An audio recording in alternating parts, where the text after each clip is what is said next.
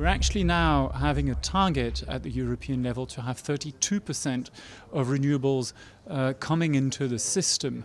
Currently, the networks aren't really capable of coping with that. They were designed uh, decades, if not even more, uh, ago to deal with very centralized ways of distributing and transmitting electricity. We think that the best approach would be to change the European uh, system of uh, construing uh, the electricity markets from the zonal uh, approach into the nodal approach. Nodal approach is the one in which the markets work along the uh, nodes, as we say, so where the prices for electricity are calculated in the locations on the marginal basis and they include uh, uh, the costs of transmission. The uh, electricity from the north or, or, from the south needs to be pushed to where the consumption is that requires uh, enormous uh, uh, work against the markets, which is the work done by the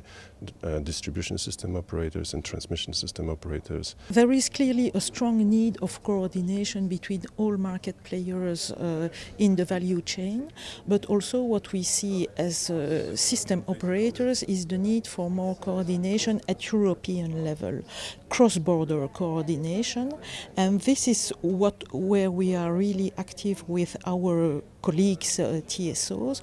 We are willing to strengthen the cooperation between TSOs in order to, to, to make the borders as invisible as possible, I would say, and so that uh, market participants can really value uh, their assets and uh, take part of the, of, of the European market. Well, I think we need discussion about the uh, uh, future of European markets, and especially that those, from my perspective, would move from the longer time uh, horizons to the shortened time horizons. The more we have the renewables in the system, the more we will be inclined altogether, yourself and myself, to trade the electricity in the close to real time uh, horizon. In that respect, the closest we are to the real time, the better for the for the uh, ability of absorption of uh, uh, renewables into the system. What we see today is that. Um, with the achievements we have done, usually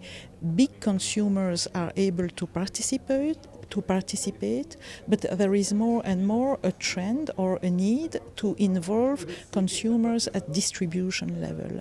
And we think that this is an important step to take also in order to allow these kinds of market participants, small prosumers, uh, so meaning producers and consumers, to act uh, in the system and to value the flexibility they can provide to the system.